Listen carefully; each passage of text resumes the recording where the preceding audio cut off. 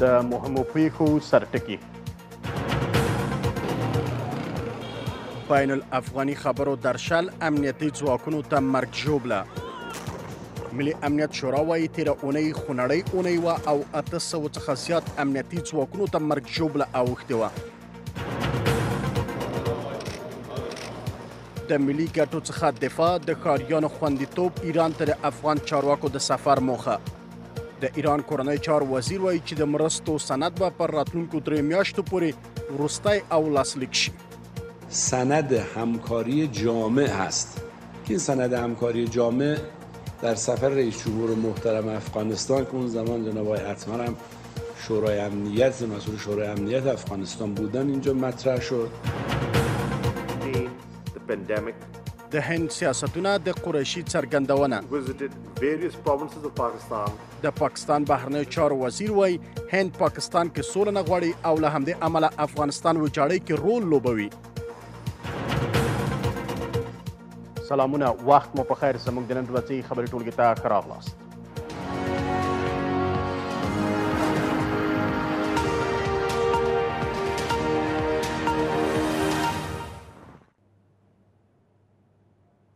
اوس هم پوره خبرونه تیره اونۍ په تیرو 19 کلونو کې تر ټولو خونړۍ اونۍ وه د ملي امنیت شورا وایي چې طالبانو تېره اونۍ د هېواد په دوه دېرش ولایتونو کې څلور سوه دوه ویشت بریدونه کړي چې د دې بریدونو په پایله کې اته سوه یو څلوېښت افغان امنیتي ځواکونو ته مرګ ژوبله اوښتې ده. د طالبانو په دې بریدونو کې دوه سوه یو نوي امنیتي ځواکونه وژل شوي دي او پنځه سوه پنځه پنځوس نور ژوبل شوي دي. ملي امنیت په یو خبرپاڼه کې ویلي دي چې طالبانو تاوتریخوالي پر مهال تیر اونۍ کې یو سل او اته څلوېښت تنه ولسي وګړو ته هم مرګ ژوبله اړولې ده د هفته په داسې حال کې و تر ټولو خونړۍ اونۍ وه چې طالبانو ژمنه کړې وه چې د افغانانو خلاف به تاوتریخوالی کموي او د سولې لپاره به کار کوي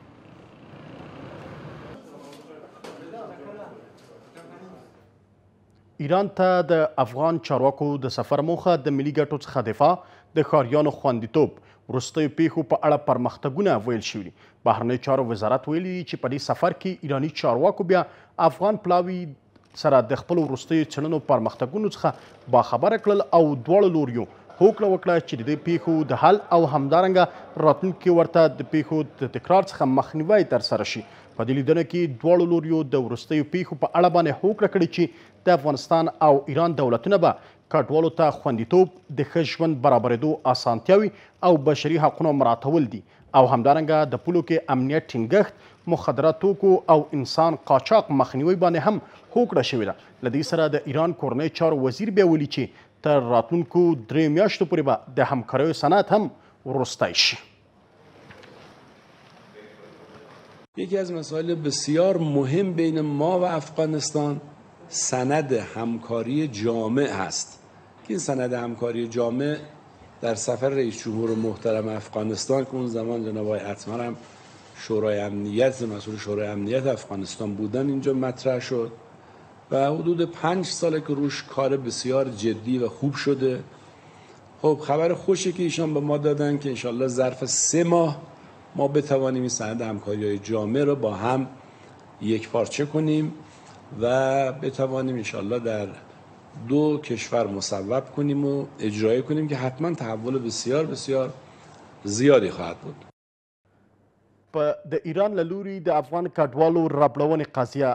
حتی د دې لامل شوه چې د افغانستان څخه یو پلاوی ایران ته لاړ شي ترڅو پرې دا قضیه له ایراني چارواکو سره وڅېړي چې بلاخره څه تر سره شوي دي د دغه دواړو پیښو چې ایران کې د افغانستان استونکو موټر ته اور اچول شوی همدارنګه د افغانستان ښاریان اوبو ته اچول شوي پر دې موضوعاتو باندې سفر تر سره شوی دی وروستي جزئیات څه دي په دې تړاو باندې بحث لرو د بهرنیو چارو وزارت ویاند ګران هیواد چې د پلاوي کې سره ایران ته تللی پرې باندې بحث کوو هیواد څخه په لومړی کې ډیره زیاته مننه کوم چې وخت مو راکړی غواړم بحث پیل لدې کړم چې وروستي جزئیات څه دي چې هلته اوس د بهرنیو چارو وزارت او مل پلاوي له ایراني چارواکو سره لیدنې کړې دي جزئیات څه دي مننه ډیره زیاته تاسو او لیدونکو ته سلامونه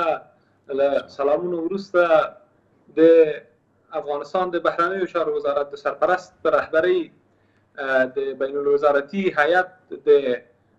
سفر د لوړ پوړي بین الوزارتي هیئت سفر ایران ته یو عمده یو له عمده اهدافو نه د افغانستان د وګړو مسؤلیت منافع او امنیت په دې لار کې د څېړنو په هکله د جدي تعقیب او د ایران له لوري سره د دې وقایعو په هکله چې په د اخرو وختو کې رامنځته سوې وې د دې هیئت له لوري بحث د بحث په نتیجه کې د ایران لوري د اخرینو پرمختګونو په اړه حیات ته اطلاع ورکړه او د دې تحقیق د ادامې او د د دغو حوادثو د مخنیوي لپاره د حل لارو د موندلو لپاره اساسي تدابیر ونیول او تدابیر باندې توافق ته سره ورسېدل پوښتنه دا ده هیواد صاحب چې ایران اوس مهال بیا ویلي چې داسې اسناد افغانستان حکومت سره نشته چې د ښکارندوی وکړي دغه کار د ایران له لوري تر سره شوی است آیا تاسو سره اسناد د دې شته چې ښکارندوی وکړي چې ایران ښاریانو د ایران امنیتي ځواکونو یا د ایراني چارواکو دغه کار تر سره کړی اوسي تاسو په جریان کې یاست چې کله چې د ایرانی هیئت له لوري کابل ته سفر شوی وو د افغان دولت له خوانه دوی ته د تحقیقاتو په اړه مکمل اسناد ورکړل شول د هغو اسنادو په د تحقیق په تعقیب باندې د دې جلساتو په جریان کې تکرار او تاکید وسه او د تحقیق د ادامې په اړه مفصل خبرې وسه خو ول ایران ولې دغه ادعا کوي په تازګۍ سره تاسو هلته په ایران کې یاست ولې ایراني چارواکو په تازګۍ سره یو ځل بیا ویلي دي چې اسناد د دې نشته چې ښکارندوی دې وکړي د دغه د دغه بیان په اړه چې ایراني چارواکو کړی ده تاسو به په جریان کې یاست د افغانستان د بهرنیو چارو وزارت په همغه شپه باندې چې سفر کې د ایران لوري ته د هغه په جواب کې یوه غبرګونکې اعلامیه ورکړل شوه او د ایران دولت له خوا نه وغوښتل شول د ایران دولت نه وغوښتل شول تر څو تحقیقاتو باندې تمرکز وکړي او ادامه ورکړي تاسو دغه هیئت د ایرانی چارواکو سره په لیدنه کې پر دې باندې هم خبرې کړي آیا اسناد چې د دې ښکارندوی وکړي چې د کار د ایران له لوري څخه تر سره شوی دی بحث پر وشو د ایرانی چارواکو ځواب څه و د دواړو خواو نه د تحقیق په اړه مفصل اطلاعات سره تبادله شول او د دې په اړه باندې هم خبرې وشوې چې تحقیق باندې به دواړه لوري غور کوي او د ډیپلوماټیکو چینلونو له خوا به تعقیبوي که چیرې یو ځل بیا ایران دغه اسناد چې اوس ادعا کوي چې نشته دي او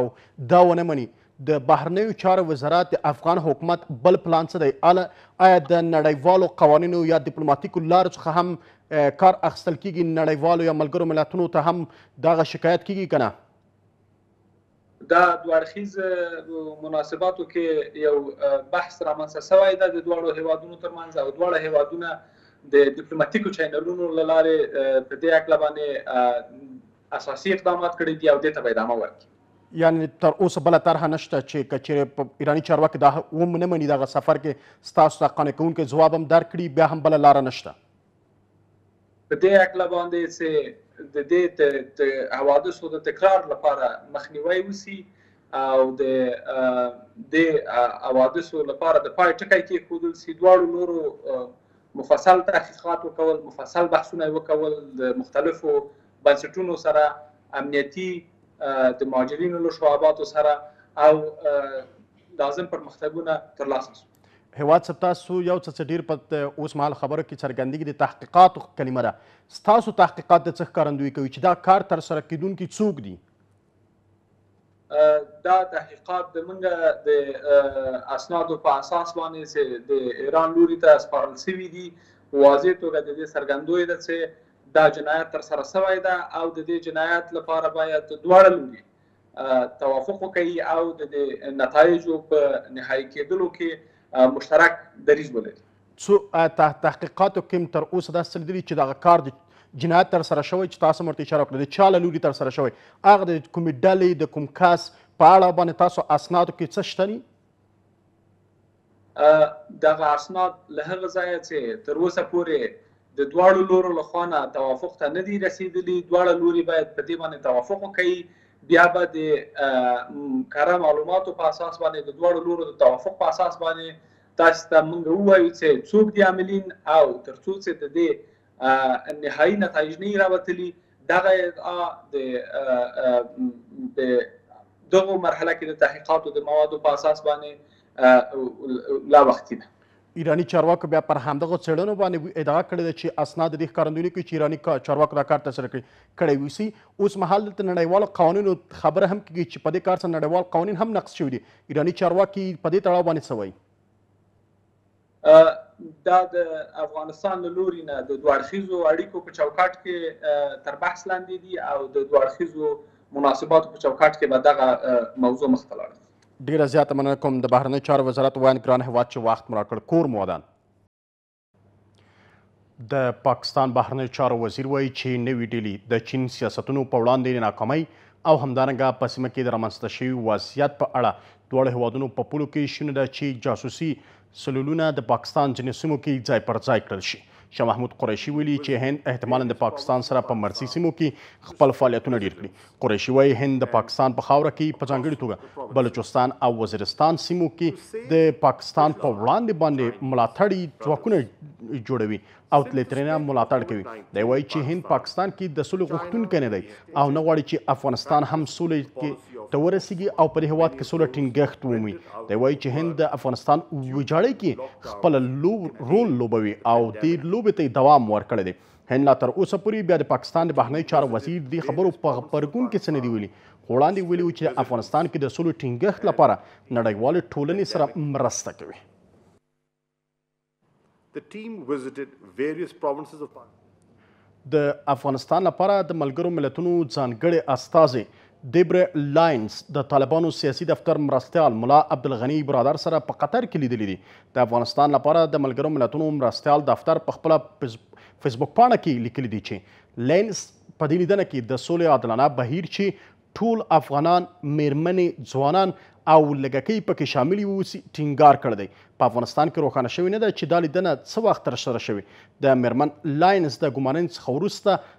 دا لومړی ځل دی چې ملا برادر سره لیدنه کوي. ملګرو ملتونو له افغان حکومت او طالبانو په وار وار غوښتنه کړې ده چې جګړه بنده کړي او سوله وکړي. ملګرو ملتونو همدغه راز غوښتي دي چې د جګړې ټولې غاړې باید د کرونا ویروس سره د مبارزې ته ډیر پام وکړي. د طالبانو سیاسي دفتر ویاند هم په خپله ټویټر پاڼه باندې لیکلي دي چې میرمن لاینز د طالبانو مرستیال سره لیدلي دي او پاتې زندانیانو خوشې کېدو، بین الافغاني مذاکراتو پیلیدو باندې یې بیا خبرې کړې دي. دا لیدنه په داسې وخت کې ترسره کېږي چې د سولې بین الافغاني مذاکراتو ترسره کېدو نیټه لا هم روښانه نه ده.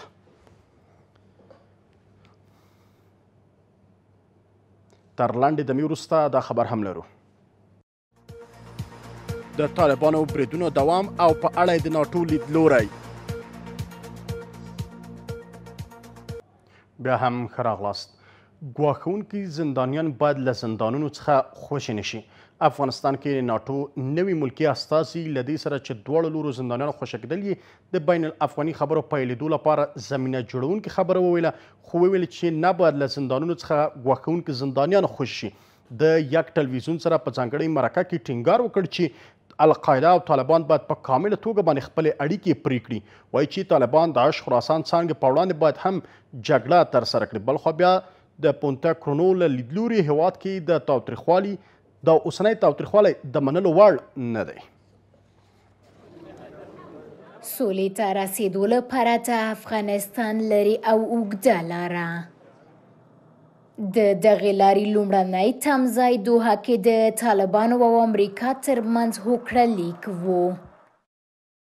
د نږدې څلورو میاشتو اوښتو سره خو لا هم د یو شمېر پرمختګونو سربیره د پنځه زره طالب زندانیانو او زر تنه حکومت زندانیانو خوشې کېدو په اړه د دغې هوکړې لومړۍ برخې لانجه له اساسي خنډونو او ځنډونو سره مخ شوې ده. سره له دې چې طالبان له کوم قید او شرط پرته د خپلو ټولو پنځه زره زندانیانو پر خوشې کېدو ټینګار لري، خو افغانستان کې د ناټو نوی ملکي استازی د افغانستان دریځ څخه په ملاتړ وایي، د خطر وړ زندانیان شتون لري چې نه باید په همدې سادګۍ څخه له زندانه خوشې شي. دا ډول بهیرونو کې یو شمېر حقوقي او تخنیکي ننګونې شتون لري چې د وړاندوینې وړ هم دي. داسې زندانیان شتون لري چې د ځینو لویو موضوعګانو له کبله نه شي کیدای خوشې شي او یا هم د هغو ګواښونو له امله چې پخوا یې رامنځته کړي دي. او نه باید خوشې شي. دا داسې لړۍ ده چې دغه راز روانه ده او زه نه غواړم له بشپړو جزیاتو سره پرې لیدلوری ولرم. له دې سره نوموړی ټینګار کوي چې د دواړو لوریو د زندانیانو خوشې کېدل هغه لاره ده چې د افغانانو خپلمنځي خبرو پیلېدو لپاره پرې مزل وکړو. د دوحې هوکړه لیک تر لاسلیک کېدو وروسته تمه کېده چې هېواد کې د تاوتریخوالي کچه لږوالی ومومي، خو څرنګه چې برسیره دي د طالبانو بریدونو کې نه یوازې چې لږوالی نه دی راغلی بلکې د هیواد لرو پرتو برخو کې بریدونه مخ په ډیریدو دي د راټو په اند بیا دغه بریدونه د دوی وکړه لیک روح نه نقضوي هغه ادعا چې طالبان هم ورسره هم غاګي دي د امریکا او طالبانو ترمنځ د سولې هوکړه لیک د روح درناوی شوی چې په هغه کې راغلي د ائتلاف په ځواکونو او د ښارونو په مرکزونو دې برید ترسره نشي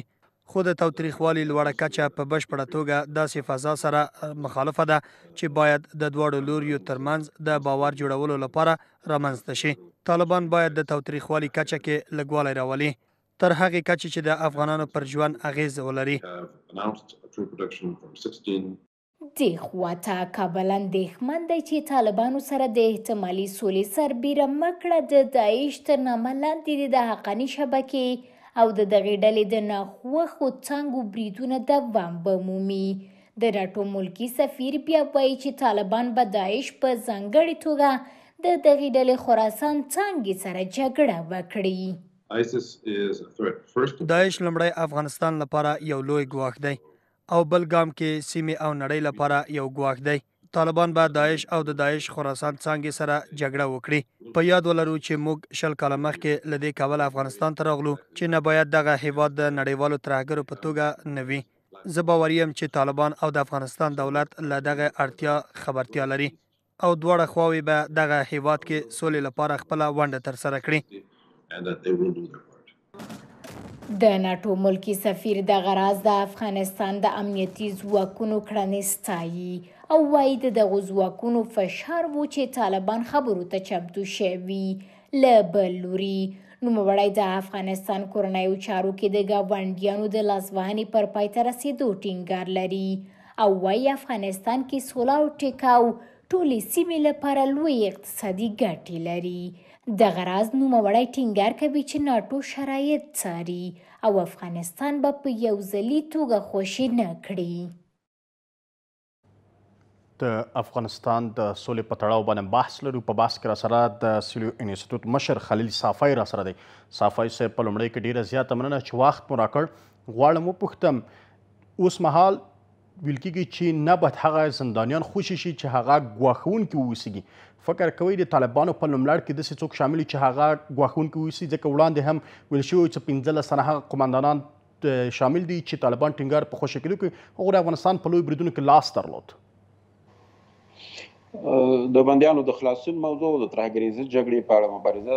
دواړه موضوعات د امریکا او طالبانو په توافقنامه کې نهایي شوي او هوکړه پرې شوې ده د بندیانو لیست په تیر سپتمبر 2019 کې طالبانو امریکا او امریکایانو به افغان حکومت ته سپارلی تر اوسه پورې درې نیم زره شاوخوا بندیان د هماغه لیست مطابق خوشې شوي دي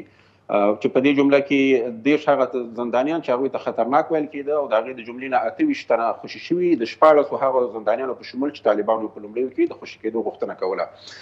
زما په باور د زندانیانو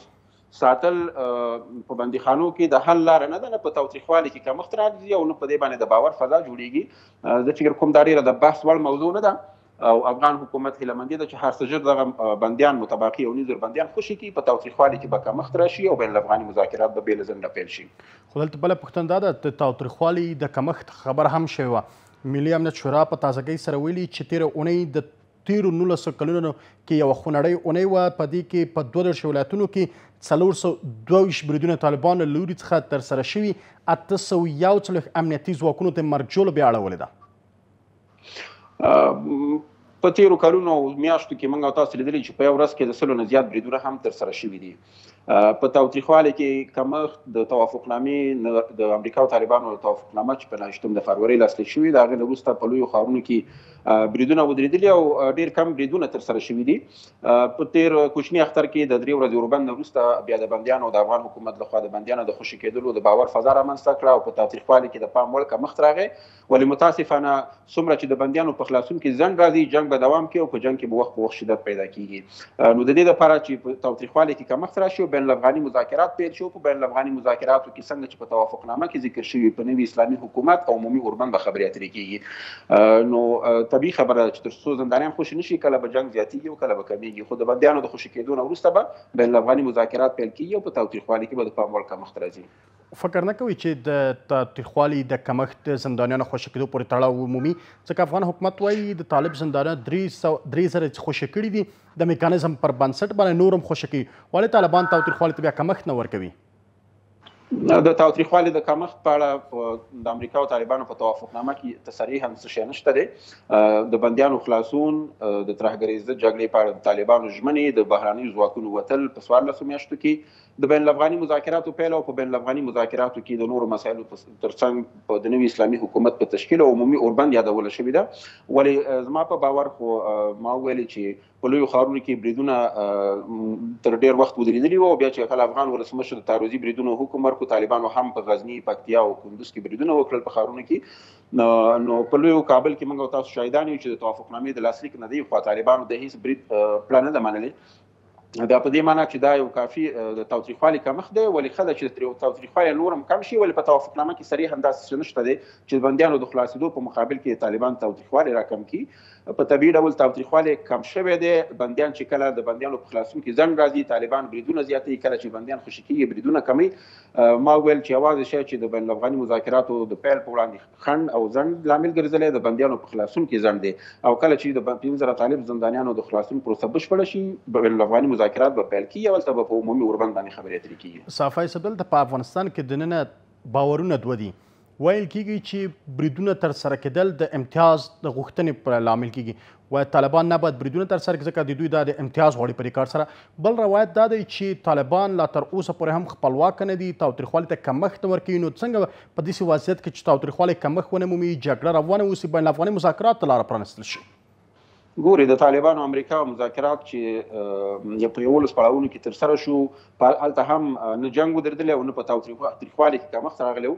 فقط د توافقنامې د لاسلیک نه یوه اونۍ مخکې امریکا غوښتنه وکړله او طالبانو هغه ومنله او د تاوتریخوالي د کمښت اونۍ موږ او تاسو د هغې شاهدان یو چې په ښه توګه باندې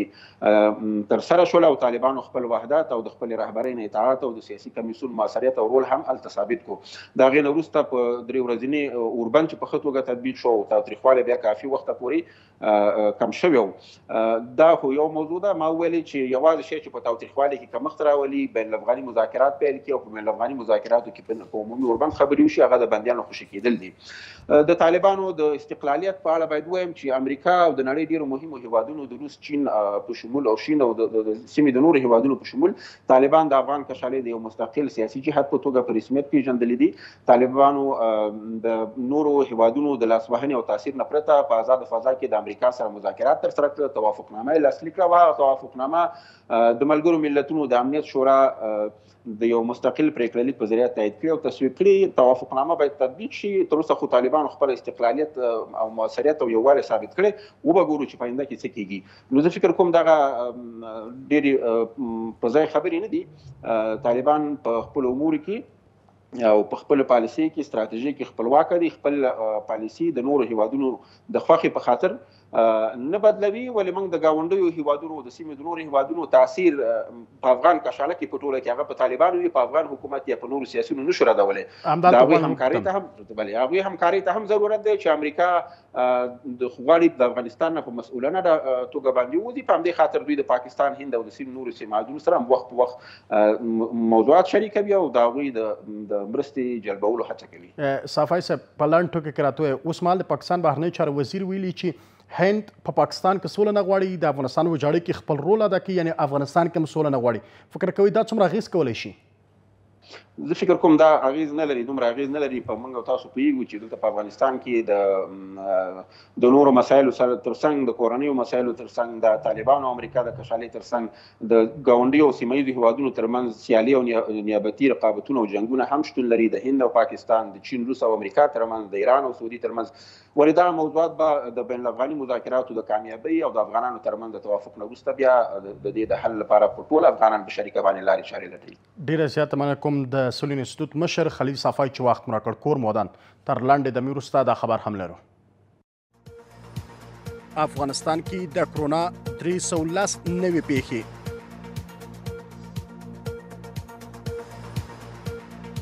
بیا هم خراغلاست تخار کې نښتې لا هم دوام لري د تخار والي ویاند وایي چې تیر شپه یو لسنیو بجې د دې ولایت بهارک ولسوالۍ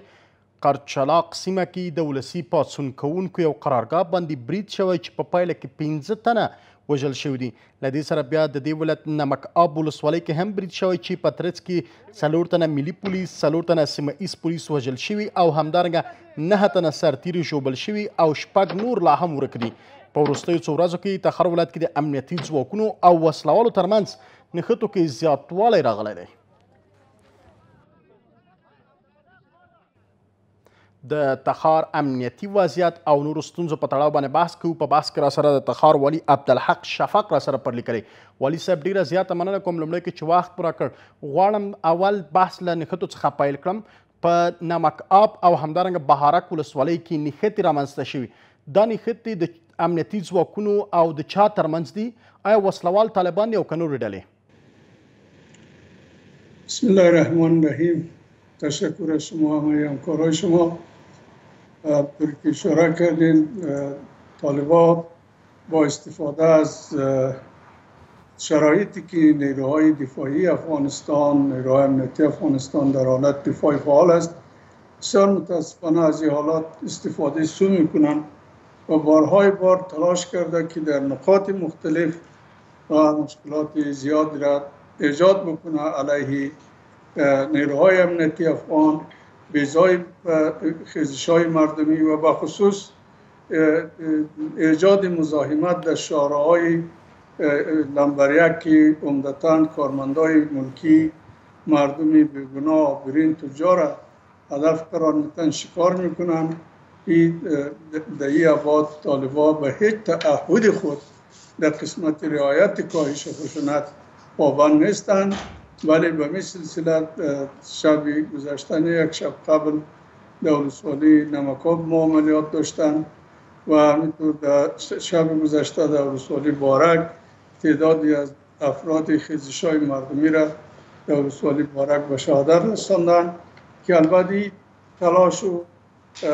خرابکاری طالبا موردی نیست دامدار است و این در حالتی است که ما در شرایط دفاع فعال قرار داریم و نیروهای امنیتی صرفا آماده است از در صورتی که سرشان روز میشه از خود دفاع کنند ولی اونا به این قواعد پابند نیست و اهداف محل استقرار نیروهای دولتی را هدف قرار میتن و علیش تحرک ایجاد میکنن والی صاحب غواړم پختم په دغه دوه ولسوالۍ بهارک او همدارنګه نمک آب ولسوالۍ کې چې جنگ شوی دی دغه جنگ کې آمار څومره دی څومره تلفات لري در شب گذشته ما در ولسوالی بارک پنج نفر از نیروهای خیزش مردمی ما به شهادت رسیده و سه نفرشان زخمی شده قبلا هم در ولسوالی نمکاب نو نفر از نیروهای ارگان های مختلف ما به شهادت رسیده اوس مهال به دغه دواړو ولسوالیو کې امنیت څه ډول دی؟ آیا جګړې پای موندلی دی؟ جنګ ته پای ورکړل شوی دی؟ بله ما بعد از انجام عملیات یکی دو ساعت روزانه به این سری قرارگاه عملات خود انجام میتن بعد از او از ساحه فرار کرده متواری میشن فعلا اونجا البته ما در ولسوالی نمکاب تقریبا سه چهار تا قریه ما هم در دست دشمن سقوط کرده فعلا قوای امنیتی در اونجا جا به جا شده تا پسته ها و محلاتی که دشمن او را خود داده اونا را بازپس بگیره البته این مستلزم ایست که ما عملیات انجام میتیم و عملیات در ساعات انجام میتیم که اون مناطق دشمن با استفاده با استفاده از شرایط کاهش خشونت اشغال بکنند غیر از ما اجازه انجام عملیات تصفیه را نداریم و خاطر اینکه به پروسه صلح احترام قائل هستیم و کمک میکنیم که جنگ ما برای صلح هست. ناصر خان و خاطرزی دفاع میکنیم که مردم افغانستان به صلح برسه ولی متاسفانه طالبا برغم ادعاهای پوچ و به اساس خود هیچ گونه کاهیش در عملیات خود هیچ گونه خشونت کاهیش نداده و بیشتر از گذشته فعلا با سوی استفاده شرایطی دفاع فعال ما اینا بیشترین تارزات و تهاجمات دارن والی صاحب د نمک آب او همدارنګ بهارک نه دی خوا یعنی نور ولسوالی کې مو هم جګړه شته دی هلته وضعیت په ټوله کې په تخار کې څه ډول دی البته میدانیم که هفتشت ولسوالی ما در ماورای کوچه چهار پنج سال میشه که محل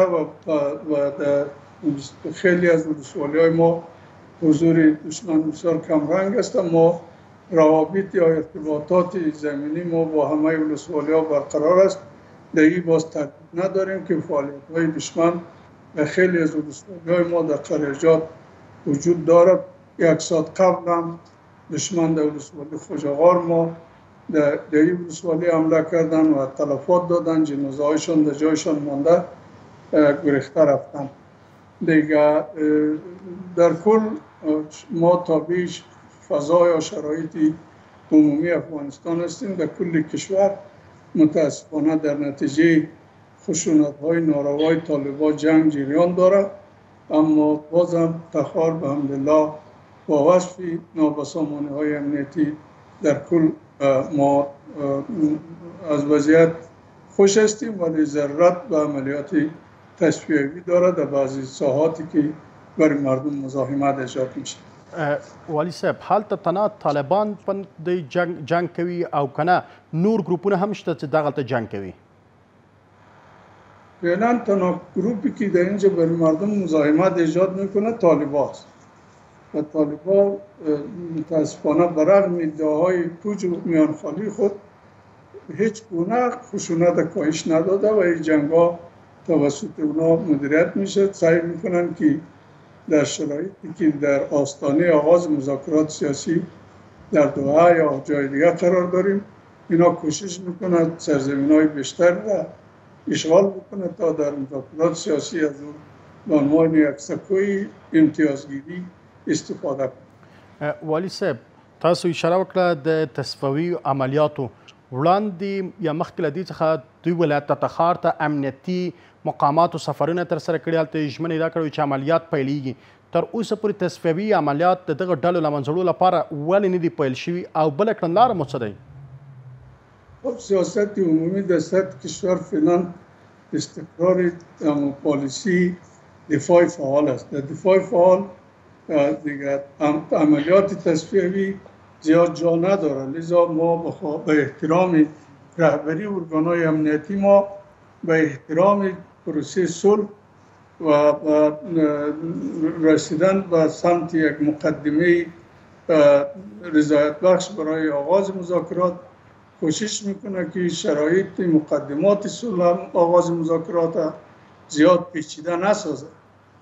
از او جهت در نیروهای دفاعی امنیتی ما در حالت دفاع فعال است لذا در دفاع فعال نمیشه عملیات تصفیبی را آغاز بکنیم از او خاطر ما در دفاع هستیم اینا در هر جایی که حمله میکنن ما فقط دفاع میکنیم خب اگر اجازه رهبری ارگانهای امنیتی ما مواصلت کرد که عملیات تصفیوی آغاز شود باز به کمترین فرصت جزای نا داده خواست شد خو همدا که تر اوڅو پورې تاسو عملیات نه پیلوي یا نه عملیات لپاره ګام نه تر سره کوي وسلوال پر امنیتي ځواکونو باندې بریدونه کوي امنیتي ځواکونو ته مرګ ژوبله اړول کیږي یاد, یاد کردم که دولت جمهوری اسلامی افغانستان زعامت حکومت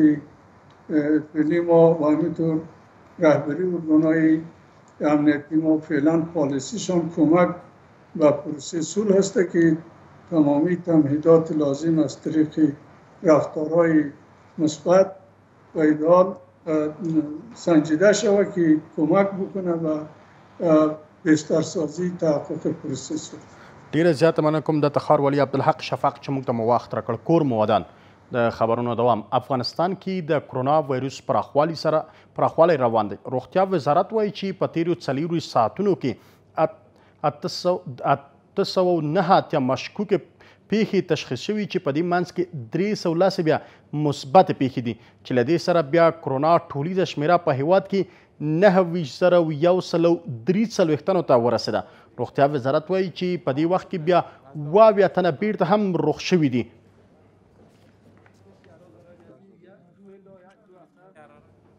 هیواد کې د کرونا وایروس ګرځیدنه نوزلي حالت ته تللې ده د عامه روغتیا وزارت سرپرست وایي چې د دې وزارت د موندنو پر بنسټ په هیواد کې کرونا باندې اخته کسانو شمیره دې کچې ته رسېدلې چې تدریج سره کموالی ومومي دا په داسې حال کې ده چې دوه ورځې وړاندې بیا جواد عثماني هرات ولایت ته تللی و او هلته یې ویل چې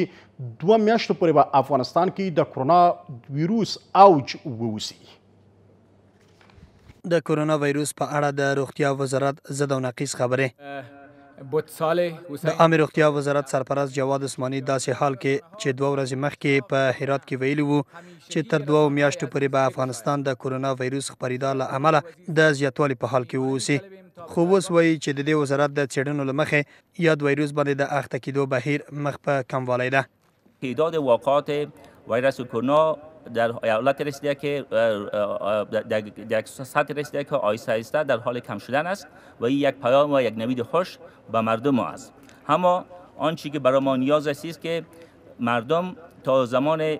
تا این زمان که با ما کمک و همکاری بیشایبه نمودن توسعه بیداشتی وزارت صحت ما را به شکل جدی در نظر بگیرند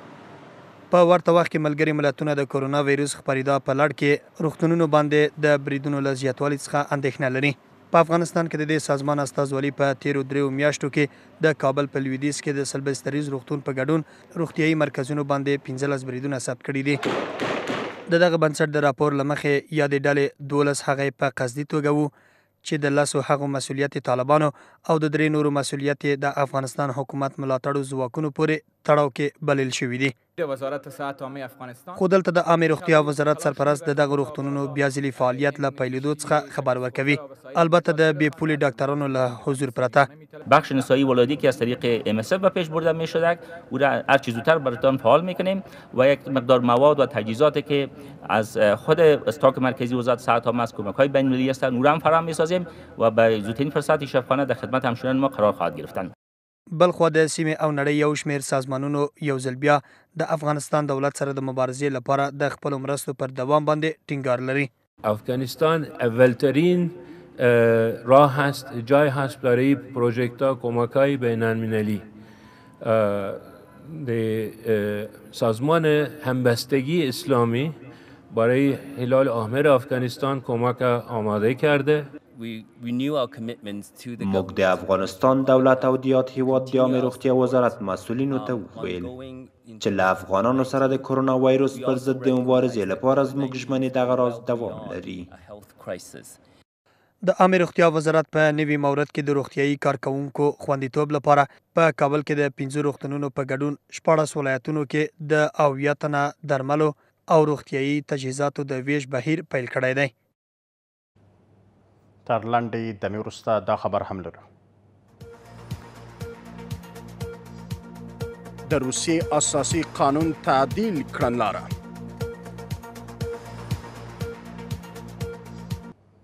بیا هم ښه راغلاست د کابل کندهار لوی لاره د غزنی ښاریانو د اعتراض په توګه باندې تړلې ده ځینې کوچی ښاریان په غزنی ولایت کې ادعا لري چې په دې ولایت کې د ځمکو غصب کوونکو دوی د دوی هدیره غصب کړې ده او په دې ځای کې د کوچې مړي ته د خاورو ته سپارلو اجازه نه ورکوي او په وړاندې باندې یې خنډ راولاړوي دا معترضان ادعا کوي چې دوی و کال وړاندې د قانوني چوکاټ څخه وروسته څو جریبه ځمکه له حکومت څخه د هدیرې په توګه باندې جواز اخیستی و خو د غزني سیمه ایز چارواکي بیا د موضوع د څړن لپاره د یو پلاوي ټاکل کیدو څخه خبر ورکوي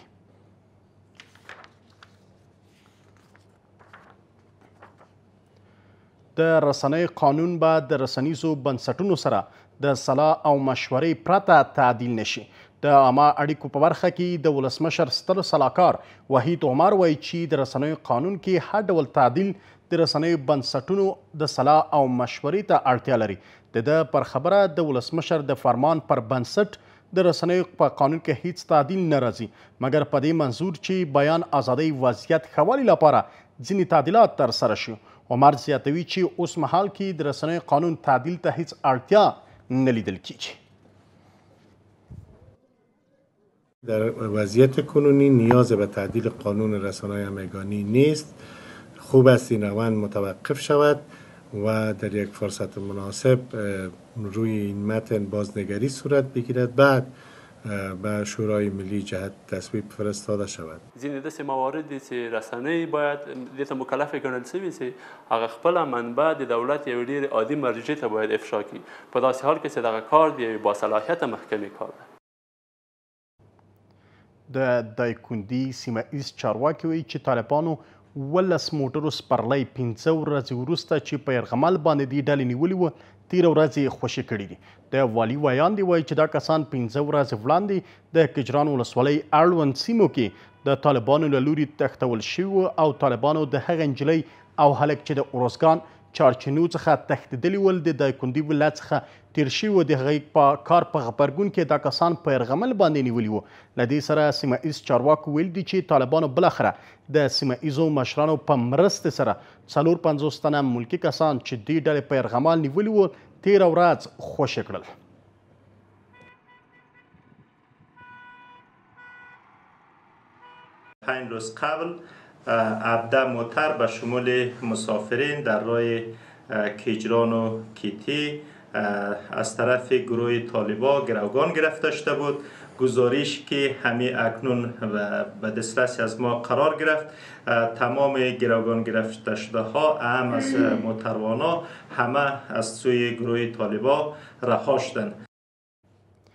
تر څو پورې چې ترکمنستان د غازو تحویل نقطې کې بدلون رانولي نو پاکستان د غازو او همدارنګه د غازو نوې بیه په اړه کتنه ونه کړي پاکستان خپل مالکیت په برخه کې د هوکړې پر بنسټ دې پروژې ته حق نه ورکوي په 2014 کال کې د څور څلورو هیوادونو ترمنځ د هوکړهلیک پر بنسټ ترکمنستان د تورخم په پوله کې د پاکستان او افغانستان لپاره ګاز برابروي او افغانستان خاوره کې بیا د دې ګازو د حمل و نقل لپاره پاکستان له لوري پیسې ورکول کېږي خو پاکستان وایي چې د شته ټاپي پروژې هوکړه لیک د پاکستان په ګټه نه دی او د دې هوکړې ځینې توکي باید بیا پرې کتنه وشي. اوس هم له هېواد څخه بهر د روسیې ولسمشر وایي چې که چیرې د دې هېواد ښاریان د اساسي قانون تعدیل ته رای ورکړي د دریم ځل لپاره به ولسمشریزو ټاکنو کې